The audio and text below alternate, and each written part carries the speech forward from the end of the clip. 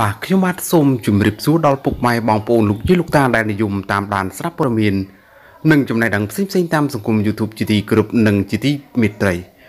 ក្នុងគណៈពេលនេះដែរខ្ញុំបាទមានព័ត៌មានមួយដែលមានចំណងជើងថា បងប្អូនយល់យ៉ាងណាដែរពេលច័ន្ទឡាផ្លាស់ប្ដូរ360ដឺក្រេអញ្ចឹងក្រោយពីឆ្លងកាត់រឿងជាច្រើនមកនេះឃើញថាអតីតបេក្ខភាព X-Factor ពូនស្រីលៀងច័ន្ទឡាបានប្រែផ្លាស់ប្ដូរខ្លាំងត្រឹមរយៈពេលដ៏ខ្លី ក្រោយការងារសិល្បៈកាន់តែរីកចម្រើនរីឯរូបសម្រស់ក៏កាន់តែស្អាតក្រោយបានអ្នកចិត្តធัวជួយកែជូនដោយមិនគិតលុយមិនត្រឹមតែប៉ុណ្ណោះឃើញថាមួយរយៈពេលនេះ នាងក៏ទទួលបានការគ្រប់គ្រងពីបណ្ដា friend friend ជាច្រើនគួរឲ្យកត់សម្គាល់ផងដែរតែអ្វីដែលកាន់តែគួរឲ្យចាប់អារម្មណ៍នោះគឺថាសម្រស់របស់នាងក៏កាន់តែស្អាតប្លែកក្រោយបាន ធ្វើការតុបតែងខ្លួនជាមួយនឹងសម្លៀកបំពាក់ប្លែកប្លែករាល់ពេលឡើងកម្មវិធីម្ដងម្ដង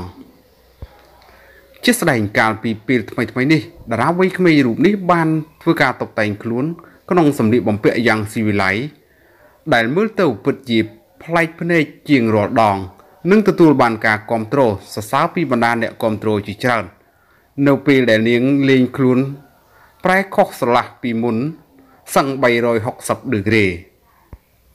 ក្រោយពីបានឃើញបែបនេះបណ្ដាអ្នកគ្រប់គ្រងជាច្រើនពិតជាពេញចិត្តចំពោះការតុបតែងខ្លួនរបស់នាង ដែលត្រឹមរយៈពេលដ៏ខ្លីបានផ្លាស់ប្ដូរខ្លួនឯងយ៉ាងឆាប់រហ័សយ៉ាងដូចនេះបាទព័ត៌មានដែលខ្ញុំបាទបានជម្រាបជូនខាងលើនេះមានតែប៉ុណ្ណឹងសូមអរគុណសូមជម្រាបលា